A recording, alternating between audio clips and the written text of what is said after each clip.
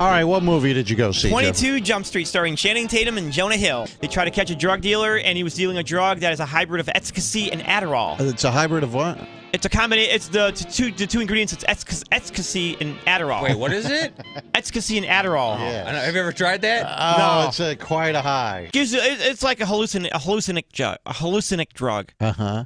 It's Gives you hallucinations. You know that kind of stuff. and what's the combination of what drugs? ecstasy and Adderall?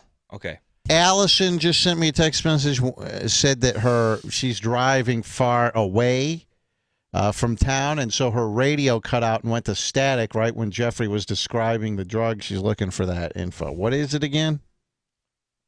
The two ingredients of this drug were ecstasy and Adderall. Dumb, you are a druggy expert. You've done every drug. Have you, what was Wi-Fi? The name of the drug was The called. drug was Wi-Fi? called Wi-Fi in the movie. and it's a combination of two of different. Adderall and ecstasy. Okay. That'd be a good time. Have you done ecstasy before? Um, I've I, I don't know about ec- ecstasy. Um, Ecstasy. All right, Jeffrey. Well, thank you. You didn't take any notes.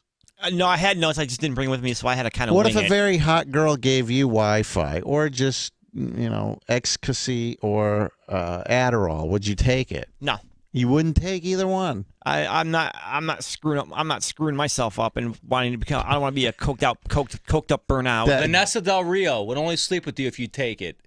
blow a line off her nip. you know what? Like I said, I mean, as much as I would like to That's bang yes. her, I just would not let myself. I would sacrifice that for the sake of my health. Remember, right? For the sake of his health and his mental acuity, uh, he cannot risk taking any ecstasy or Adderall.